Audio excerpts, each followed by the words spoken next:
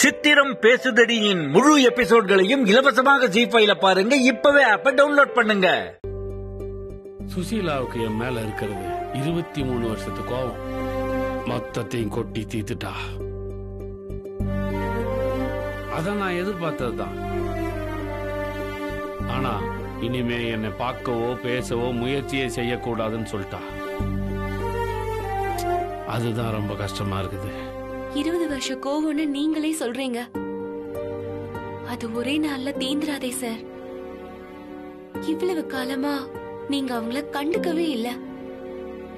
அவங்க இருக்காங்களா செத்தாங்களான்னு கூட உங்களுக்கு தெரியாது.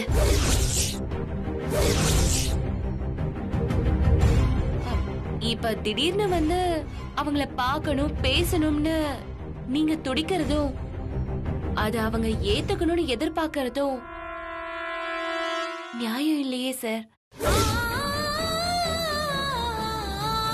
சாரி சார் என் மனசுல பட்டதை தான் சொன்னேன்.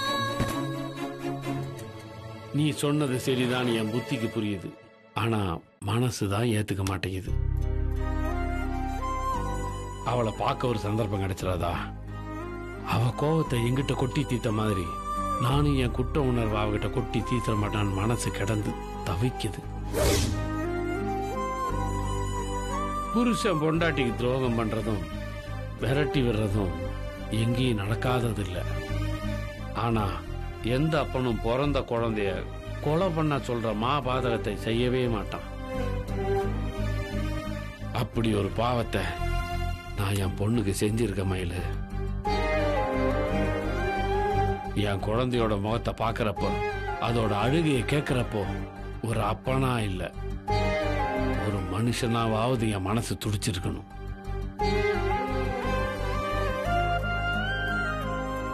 என் கோவம் சரியா தப்பான்னு நிதானமா நின்னு யோசிச்சிருக்கணும்.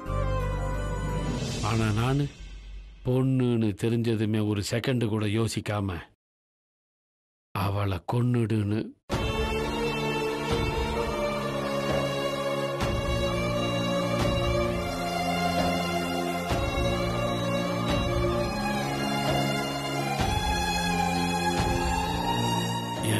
மாதிரி ஒரு மோசமான கேவலமான மனுஷனை இந்த உலகத்துல எங்கேயுமே பார்க்க முடியாது மயில்.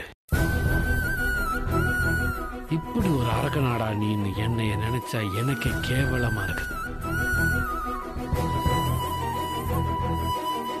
பெத்த பொண்ண சாமியாவும் தேவதையாவும் எல்லாரும் கொண்டாடுறப்போ நான் மட்டும் தப்பு பண்ணிட்டேனேன்னு வெக்கமா இருக்கு.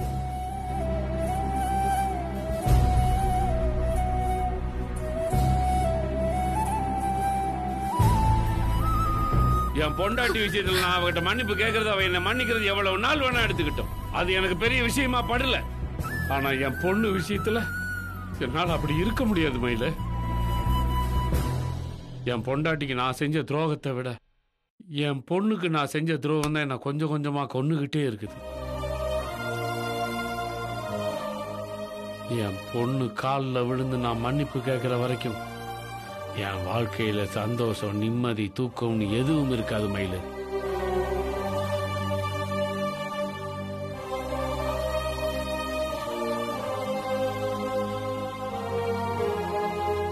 அவளை பாக்குறதுக்காவது நீ ஏதாவது ஏற்பாடு பண்ண முடியுமா மயிலு? சித்திரம் பேசுதடியின் முழு எபிசோட்களையும் இலவசமாக ஜி ஃபைல பாருங்க. இப்பவே ஆப்ப டவுன்லோட் பண்ணுங்க.